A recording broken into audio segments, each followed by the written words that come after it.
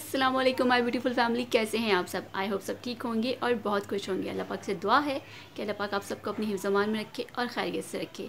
Friends मैं हूँ सायरा और आप देख रहे हैं Saira Ibrar official channel friends आज की वीडियो में हम डिस्कस करेंगे कि हम अपनी बॉडी को किस तरह से अच्छे से क्लीन कर सकते हैं डिटॉक्सीफाइड कर सकते हैं, किस तरह से गंदगी को अपनी बॉडी से बाहर निकाल सकते हैं। क्योंकि अगर ये गंदगी आपकी बॉडी में से अच्छे से क्लीन नहीं होती है तो आपकी बॉडी को बहुत ज़्यादा हार्म करती है और बहुत ज़्यादा आपकी बॉडी को डैमेज करती है। फ्रेंड्स यहाँ पे सबसे पहले ये समझिए कि जो आप खाना खाते हैं, वो सबसे पहले आपके मैदे में जाता है टूट फूट का प्रोसेस शुरू होता है, फिर जाता है ये खाना आपके इंडस्टाइन में, यानी कि हमारी आंतों में और उसके बाद जो वेस्ट होता है, वो हमारी बॉडी से बाहर निकल जाता है।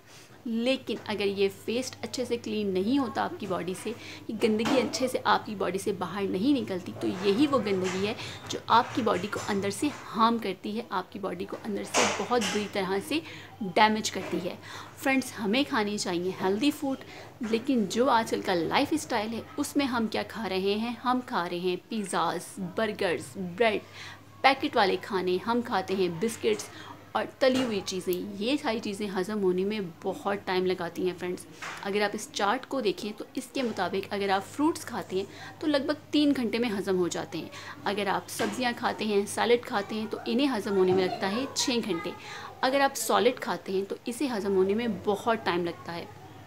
फ्रेंड्स अगर इतना टाइम इन सारी चीज़ों को हज़म होने में लगता है तो मतलब सारा दिन आपकी बॉडी वर्क कर रही है।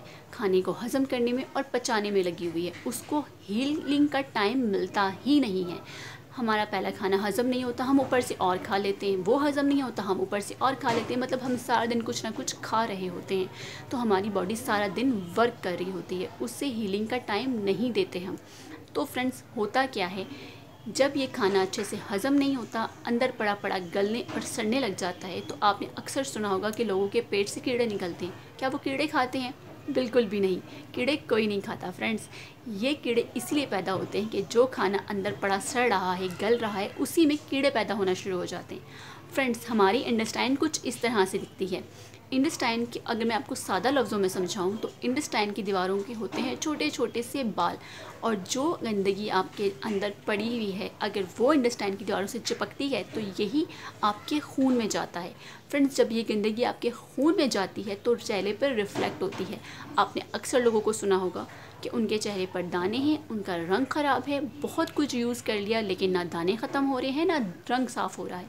फ्रेंड्स कैसे सब कुछ ठीक होगा जब खून में आपकी गंदगी शामिल हो जाएगी?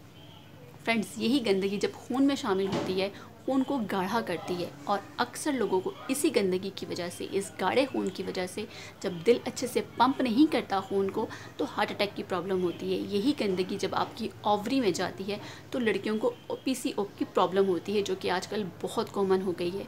फ्रेंड्स यही गंदगी जब आपकी किडनी में जाती है तो स्टोन बनते हैं। यही गंदगी जब आपके पेट पे जमा होना शुरू होती है, यानी कि आपके आंतों में जमा होना शुरू होती है तो आपको मोटापा हो जाता है। यही गंदगी जब आपकी बॉडी में जमा होती है तो आपकी बॉडी अंदर से टूट फूट का शिकार होती है और बहुत नुकसान होता है। तो फ्रेंड्स इस गंदगी को हम अच्छे से क्लीन कैसे कर सकते हैं? आज मैं आपके साथ कुछ बहुत ही सिंपल से लेकिन बहुत ही अफेक्टिव टिप्स शेयर करूँगी। फ्रेंड्स आपको सबसे अच्छा तरीका तो अपनी बॉडी को क्लीन करने का ये है कि आप फास्टिंग करें। फ्रेंड्स फास्टिंग करने से क्या होता है? फास्टिंग करने से ये होता है कि आपकी बॉडी को वक्त मिलता है ख़ुद को हील करने का।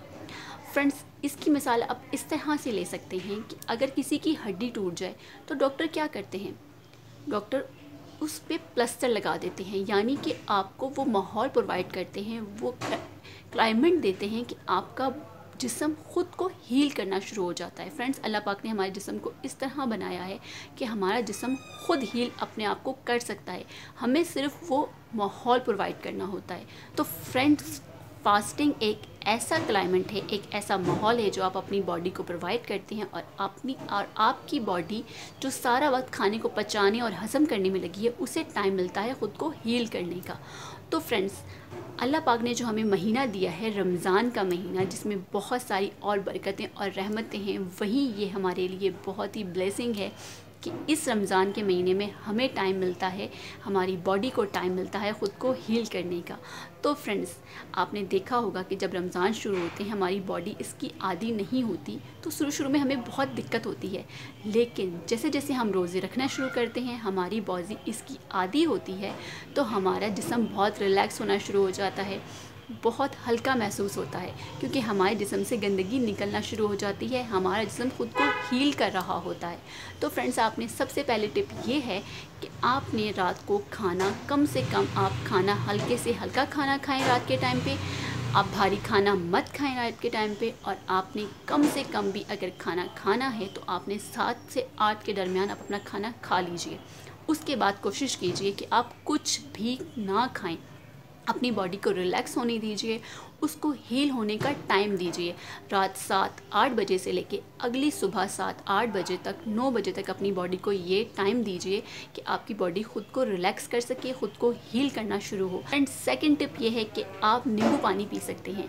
आपने करना ये है कि आपने सुबह उठकर एक ग्लास हॉट वाटर लेना है, उसमें आपने डालना है लेमन और उसमें डालना है आपने शहद। और ये ड्रिंक आप जब पियेंगे तो बिलीव करें फ्रेंड्स आपके लिए बहुत अच्छा वर्क करने वाली है। आपकी बॉडी के जितने भी टॉक्सिस हैं, ये उसे बहुत अच्छे से डिटॉक्सीफाइड करती है। आपकी बॉडी से जितनी भी गंदगी है, ये उसे बहुत अच्छे से निकालती है। अगर कोई ऐसा जन है, जिसे ये ड्रिंक पसंद नहीं है तो वो सिंपल हॉट वाटर भी यूज़ कर सकते हैं। यानी कि आपने सुबह उठ के अगर आप नींबू पानी नहीं पीना चाहते तो आप एक ग्लास गर्म पानी लें और उसे पीना शुरू करें। ये बहुत छोटी छोटी सी टिप्स हैं, लेकिन बहुत ही अफेक्टिव हैं। अगर आप इन तीनों टिप्स को अपनी रूटीन का हिस्सा बनाते हैं तो आपकी बॉडी बहुत अच्छे से ख़ुद को क्लीन करना शुरू करती है। आपकी जिसम में जितने भी जहरीले मादे हैं, वो सब बाहर निकलना शुरू होते हैं और आपकी बॉडी अपने आप को खुद हील करना शुरू होती है। तो फ्रेंड्स, जब आपकी बॉडी अच्छे से क्लीन होगी, आपकी बॉडी अच्छे से डिटॉक्सीफाइड होगी तो आपका चेहरा भी साफ़ होगा, आपके चेहरे की रंगत भी साफ़ होगी और साथ ही साथ आपके चेहरे पे वो ग्लो आएगा जो आपको किसी क्रीम से नहीं मिलने वाला। फ्रेंड्स, ये वो सारी टिप्स हैं जो मैं खुद यूज़ करती हूँ। मैं सुबह उठ के रोज़ ये ड्रिंक पीती हूँ, जो मैंने अभी आपके साथ शेयर की है। फ्रेंड इसको मैंने ख़ुद आज़माया हुआ है। ये बहुत ही इफ़ेक्टिव ड्रिंक है। आप इसे ज़रूर आज़माइएगा, ज़रूर पीजिएगा। आपको इसके बहुत अच्छे रिज़ल्ट मिलेंगे। तो तो फ्रेंड्स आई होप आपको वीडियो पसंद आई होगी। वीडियो पसंद आई है तो एक लाइक तो बनता है फ्रेंड्स आज की वीडियो में आपके लिए बहुत कुछ जानने को आपको मिला होगा, सीखने को मिला होगा। तो फ्रेंड्स इसी तरह मुझे और मेरे चैनल को सपोर्ट कीजिए। चैनल सब्सक्राइब नहीं किया तो जल्दी से सब्सक्राइब कर लीजिए ताकि इसी तरह की इन्फॉर्मेटिव वीडियो आपके साथ मैं शेयर करती रहूँ। आपकी और हमारी मुलाकात इसी तरह से होती रहे। तो मिलती हूँ नेक्स्ट वीडियो में। अल्लाह हाफिज़।